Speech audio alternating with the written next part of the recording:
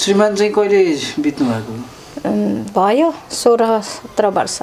लिलिमाको त अब कि बिहेको पनि कुरा सुनिन्छ अब मौसमजी पनि सँगसँगै हुनुहुन्छ। कहिले योजना छ लिलिमाको बिहे चाहिँ? फेरि मैले चाहिँ चाहन्थेन कि गीत गाएर हिँड्नुहोस् भन्ने चाहिँ दिन्थेन मौनी भइसकेको भन्ने सुनेको त्यही अनि मङ्गनी गऱ्यौँ अनि पछि चाहिँ उहाँहरू कलेजमा भेट भएको हो। ए। अनि आर्ट्स एउटै कलेजमा पढ्नुभएको दुईजनै कालिकामा।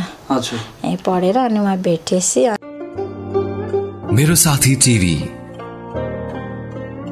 हरपलको सहयात्री। दर्शक नमस्कार मेरो साथी टिभी हेरिरहनु भएको छ। मेरो नाम सुरेश सुनार। हो यति बेला पछिल्लो समय नेपाल आइडलको टप एटमा पुगेकी कन्टेस्टेन्ट निलिमा थापा मगरको म घरमा आएको छु।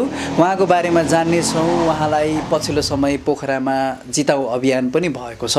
निलिमा थापा जिताउ अभियान सहयोग समिति गठन पनि भइसकेको छ। अब निलिमा थापा मगरको बारेमा उहाँको मम्मीबाट म थप कुराकानी बुझ्नेछु तपाईँ मेरो साथी टिभी हेर्दै गर्नुहोस्। यो भिडियो धेरै नेपालीसम्म पुग्नका लागि यो भिडियोलाई सेयर गरिदिन नभुल्नुहोला।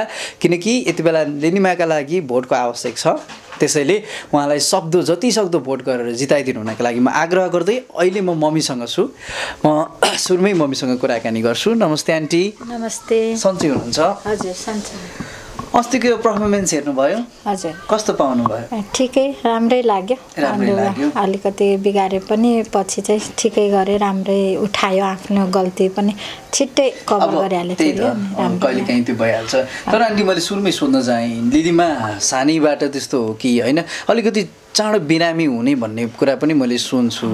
छिटो बिरामी हुन्छ अलिक कमजोरी छ। हजुर। अनि त्यस कारणले गर्दा अलिक बिरामी छिट्टै हुन्छ त नि।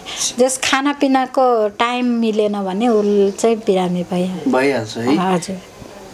एक घर को को हुनुहुन्छ आन्टी घर म अनि निलिमा अनि निलिमाको भाइ। हजुर। अनि त्यति छ। मैले उसको दाई चाहिँ इन्डिया पढ्न गएको छ ब्याचलर पढ्न। गएको।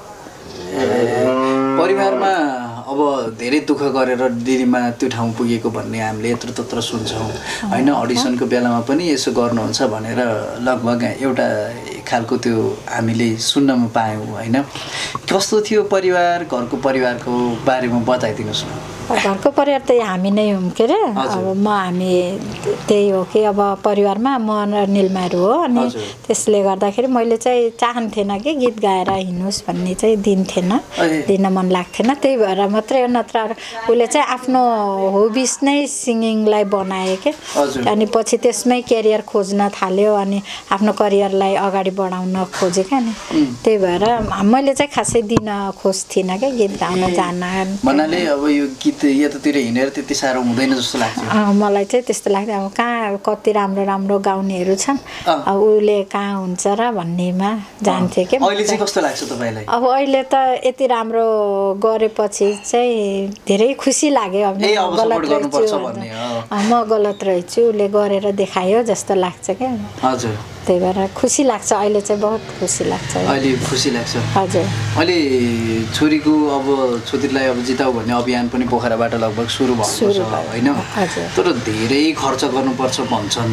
यसलाई चाहिँ कसरी गरिरहनु भएको छ आन्टी अहिलेसम्म चाहिँ?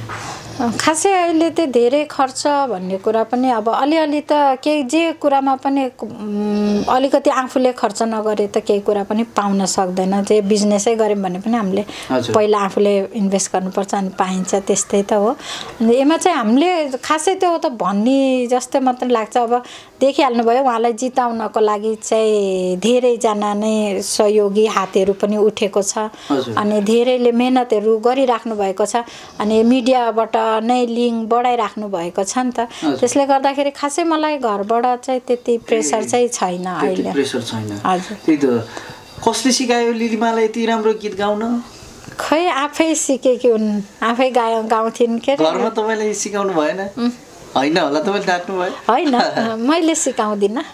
गीत चाहिँ हामीलाई सबैलाई घरमा चाहिँ सबैलाई मनपर्छ गीतहरू सुन्ने त्यस्तो बानी त छ छन त? तर गीत गाउनलाई सिकाउने चाहिँ मेरो हात चाहिँ छैन। उसले आफै सिकेकी हुन् स्कुलबाट नै सिकेकी हुन् नि आफै तपाईँहरू त। लगभग बल्ल आज देखियो थाहा पाइयो यहाँ रहेछ भने चिन्नु। यहाँ पनि नजिकै पनि चिन्नु हुँदो रहेनछ। तपाईँ कि लिलिमालाई किन यसरी गुपचुप राख्नुभयो?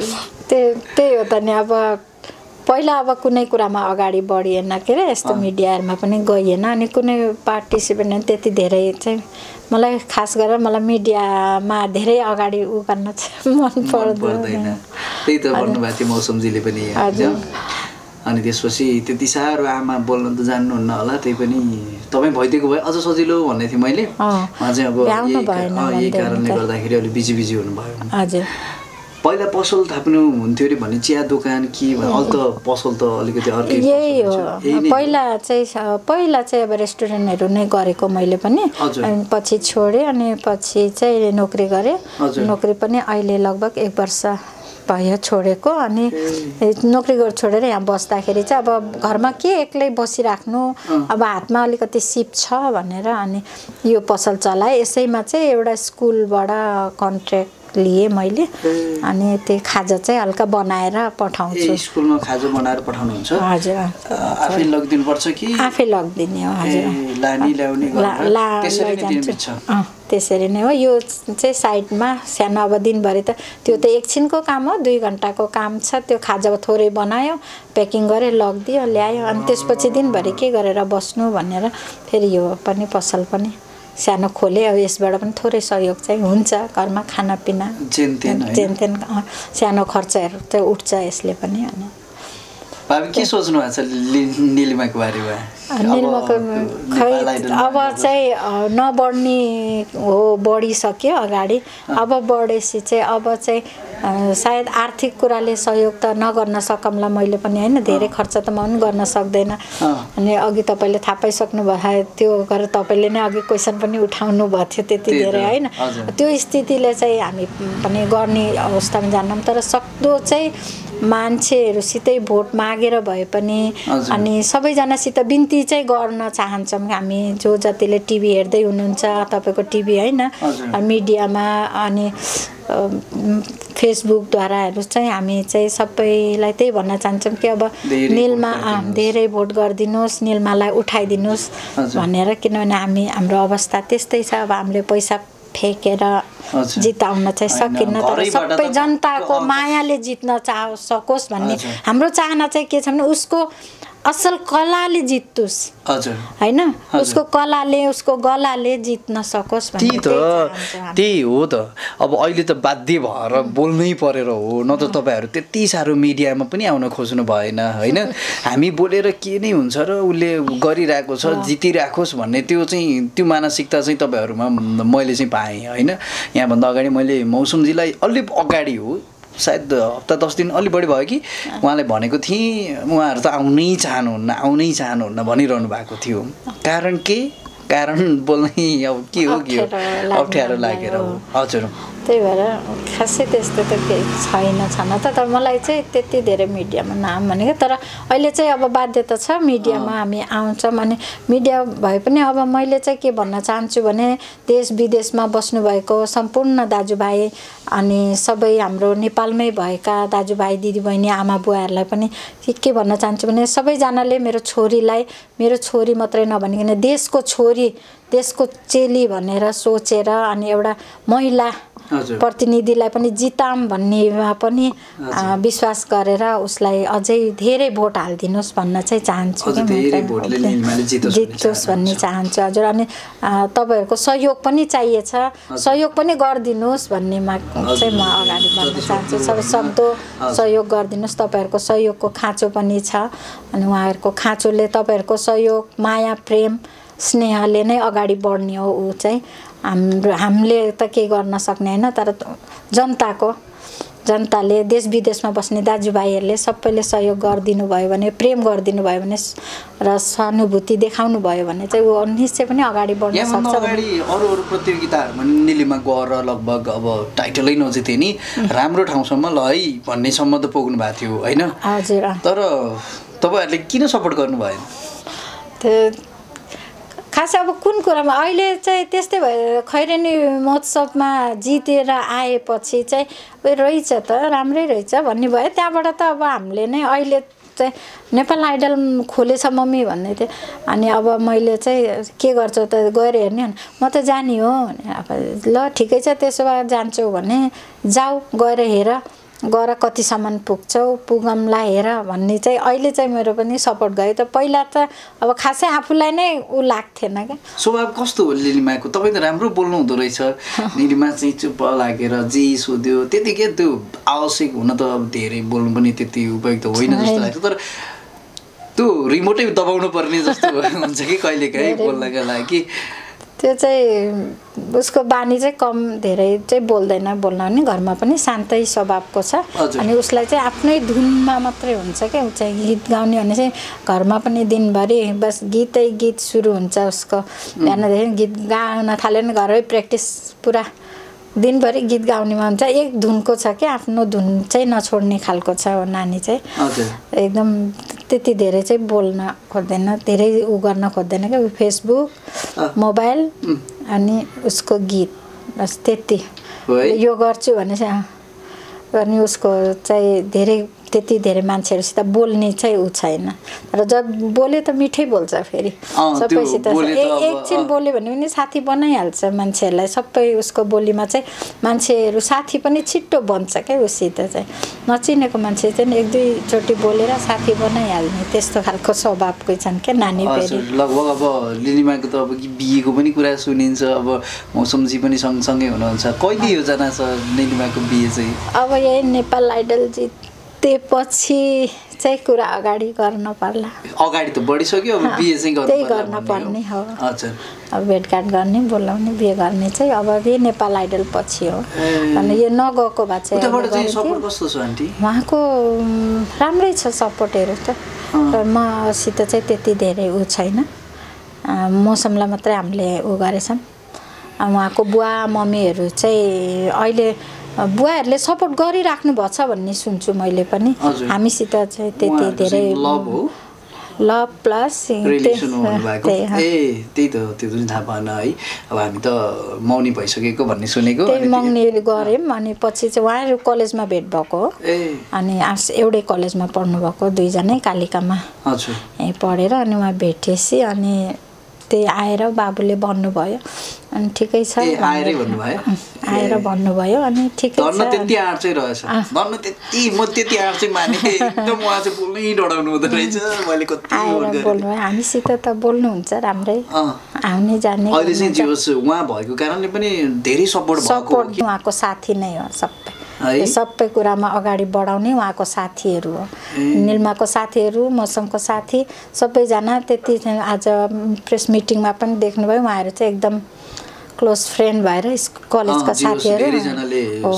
सपोर्ट गरिराख्नु भएको छ। अनि यो सबै अगाडि बढाउने कार्यक्रमहरू योजनाहरू यो सबै यस्तो गरौँ अब हामीले निलमाको लागि केही गरौँ भन्ने कुरा चाहिँ साथीहरूको प्लस मौसमको हात। धेरै दुःख गर्नुभयो है? दुःख त के गर्ने अब त्यही हो। सानोतिनो दुःख त अब भइहाल्छ नि छोरछोरी हुर्काउने बढाउनेमा त। खासै त्यति दुःखै साह्रै विधि दुःख भन्ने कुरा त छैन। सकिन भने सपोर्ट थियो म मेरो चाहिँ आफन्तहरूको सपोर्ट धेरै हजुर। श्रीमान चाहिँ कहिले बित्नु भएको भयो। सोह्र सत्र वर्ष। सोह्र वर्ष भइभ्यायो लिलीमा कति वर्ष? निलिमा बाइस वर्ष। बाइस वर्ष। राम्रोसँग बुवालाईको ऊ पनि। अँ त्यति धेरै ऊ छैन त्यही भएर खासै हामी बुवातिरै त्यति धेरै मैले पनि परिचय गराएन उनीहरूलाई। त्यही भएर। हो है। हजुर। तर त्यही त अस्तिको एउटा एपिसोडमा चाहिँ निलीमा धेरै रोको देखियो क्या। त्यो चाहिँ उसको गीतको कुराहरूमा लिएर होला। त्यही त नि। तपाईँ चाहिँ जानुभयो कि जानु भएन हेर्नलाई? कहाँ? काठमाडौँ नै गएको छैन। गएकै छैन। गएको छैन। भेटघाट कुराकानी कहिले कहिले हुन्छ कहिले कहिले कता न मम्मी सन्चै हुनुहुन्छ भनेर फोन गर्छिन्।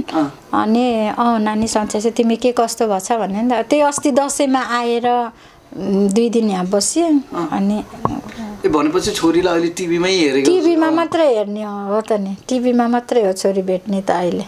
है? त्यति साह्रो कुराकानी। छैन हामीसित त गर्दैनन् त्यति धेरै कुराकानी।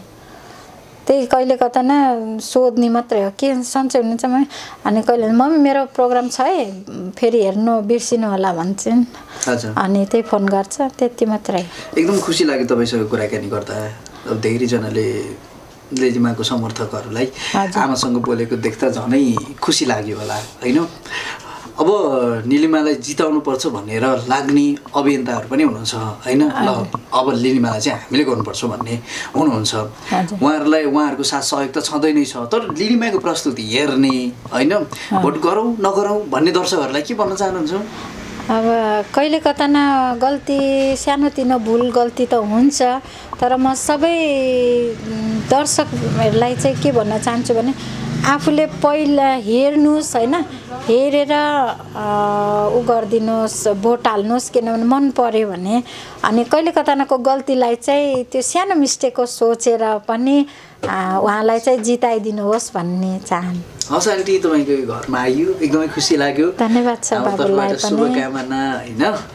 फेरि पनि भेट्दै गरौँला है? हुन्छ अगाडि अगाडि। आउँदै गर्नुहोस्। अब फेरि अब मैले चाहिँ धेरै कुरा गरेँ होला है। होइन तपाईँले के त्यस्तो? पनि तपाईँहरूलाई आउनुभयो खुसी लाग्यो। मेरो इन्टरभ्यू पनि लिनुभयो खुसी लागेछ मलाई पनि। आउनुभयो तर म चाहिँ यति नै चिन्न चाहन्छु तपाईँको यो च्यानल चाहिँ बाहिर बाहिर धेरै उ छ भनेपछि म त्यही भन्छु बाहिर बस्ने दाजुभाइ सबै निल्मालाई मन पराउनेहरूले चाहिँ सबैले फेरि पनि निल्मालाई सहयोगी सहयोग गरिदिनुहोस् भोट हालेर भनेर भन्न चाहन्छु सपना के छ तपाईँको? अन्त्यमा? अन्त्यमा चाहिँ सपना के छ भने छोरीको जित हुन सकोस् त्यही एउटा चाहना हेर्ने रहर छ। अब। टाइटल जितोस् भन्ने रहर छ हस् धेरै धेरै धन्यवाद। हस् हुन्छ। स्वागत छ बाबुलाई है। सहयात्री मेरो साथी टिभी।